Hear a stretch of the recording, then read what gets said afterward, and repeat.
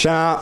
Eh, Marcus Hulgård här igen. Eh, det verkar som att folk tyckte om det vi gjorde så vi tänkte vi kör ett eh, avsnitt till så följ med.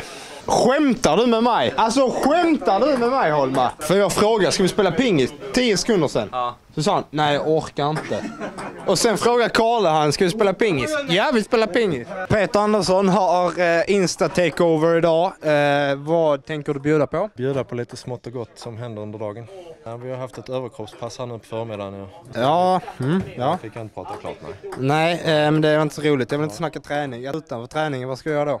Jag vet faktiskt inte vad jag ska göra. Jag hade hoppats på fint väder idag med men uh, det regnar lite då. Uh, jaha. Uh, oj, nu kommer en boll här. Uh, vad ska vi mer snacka om? Mm. Mm. Vad vill vi prata om? Uh, vad du gör på dagarna? Vad jag ska göra då? Ja. Uff. Bea kom upp idag. Kanske ut på golfbanan. Mm. Laga en god middag kanske? Det där skulle du inte sagt. Nu är jag tvungen att göra det.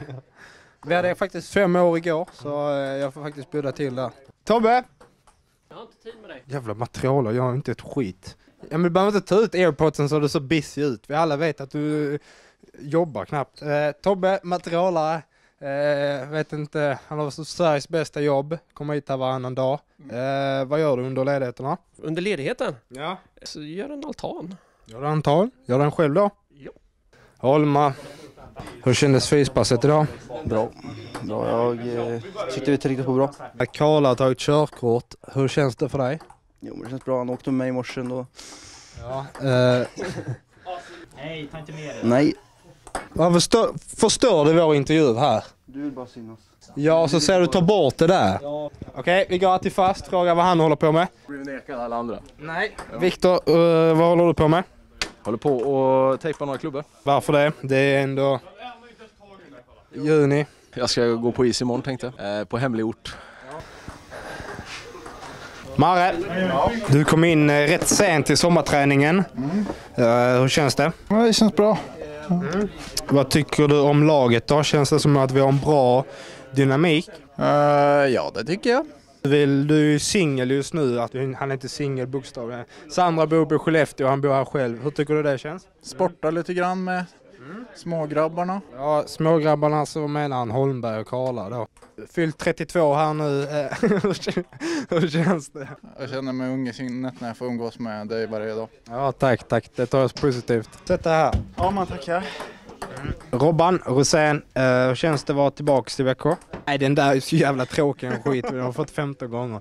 Uh, mm, uh, klipp inte bort detta för detta ska vi ha med fika, uh, favoritämne. När du går till fika, när du går till fika, det kan jag inte säga.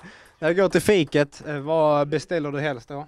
kanelbulle om den är nybakad. Eh, jag tycker inte det är mycket som slår det. Det är faktiskt extremt gott. Eh, du är inte kaffe då? Blir det kaffe? Ja, oftast. Jag har precis börjat lära mig dricka det. Du har ju två unga och en fru. Det går riktigt att du beställer dubbelt upp bara för att du ska äta upp deras också. Stämmer det? Nej, det behövs inte. Jag får göra det ändå. För dem. Du fikar fyra gånger så mycket än vad alla andra gör. Mm, ja, det blir faktiskt ganska mycket. Jag har svårt att låta något eh, Tack för intervjun Robert. Tack, tack. Tack för att ni tittade. Eh, hoppas ni tyckte det var lika roligt även fast det var, det var svårt att komma på med idéer. Så eh, ha det bra. Tja!